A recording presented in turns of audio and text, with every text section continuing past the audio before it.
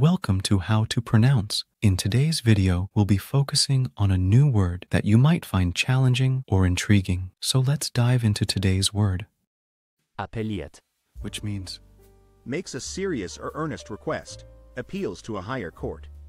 let's say it all together.